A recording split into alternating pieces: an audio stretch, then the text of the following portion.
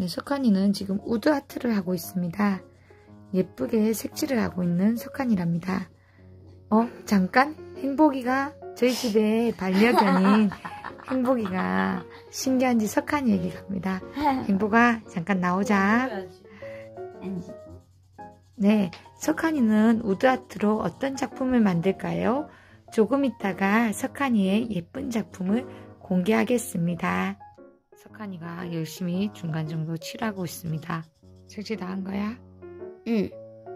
어, 너무 잘했다. 이제 한번 꽂아보세요. 네, 우드 아트에서 뽑아서 꽂았습니다. 오, 석한. 잘하는데. 응? 이제 눈만 만들면 돼. 아, 밑에 응. 한번 만들어 봅시다. 네. 작게 해가지고 근데 이거 얇게 해야 돼. 잘못하다 이게 다. 그림을 가리겠다. 맞지? 하얀 점, 점토죠? 점토로 다 깔았습니다. 그리고 잘 보면 여기 밑에 두두두두. 어, 구멍난 부분을 다 가렸습니다. 오, 잘했어요.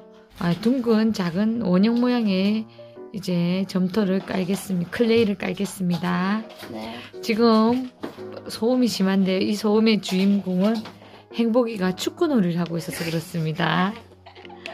네, 여기 석한이가 점토를 가져왔습니다. 이 점토를 깔아보도록 하겠습니다.